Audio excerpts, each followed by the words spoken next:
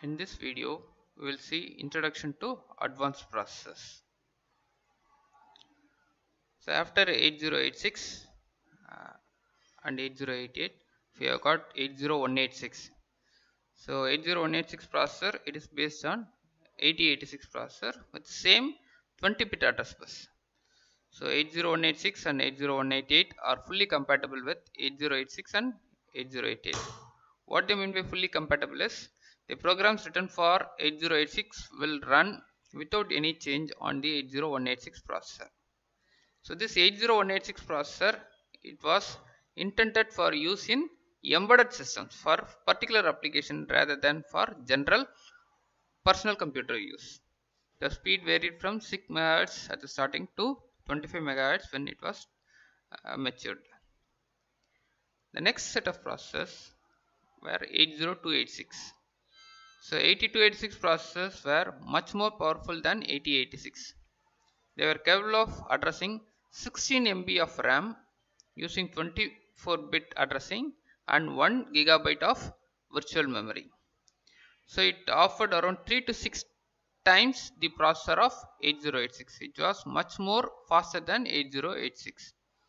So this was the first Intel x86 CPU with built-in memory management. So this is where we had the memory management built into the chip itself.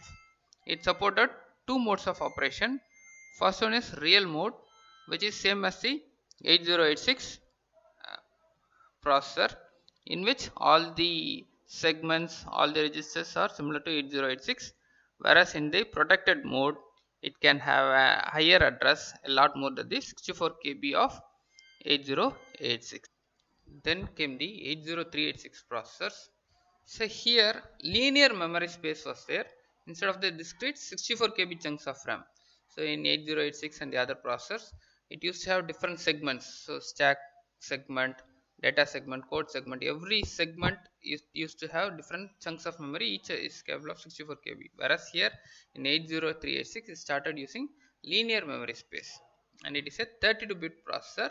So that's why it has 32 bit data bus and it could address 4 GB of RAM and 64 TB of virtual memory. It is on a 386 system that Unix was developed.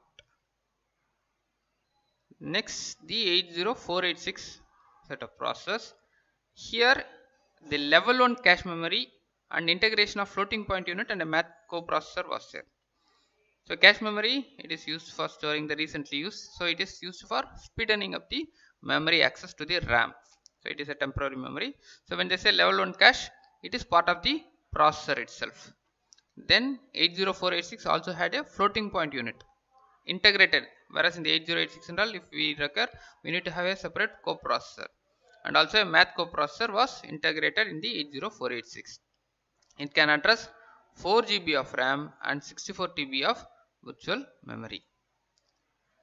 Next came the Pentium so after 486 uh, there were uh, issues with respect to trademarking. Because Intel 8086, Intel 80186, 286, 386 the numbers become trademark to avoid numbers uh, from trademarked they started giving the names which is why it is called as a Pentium.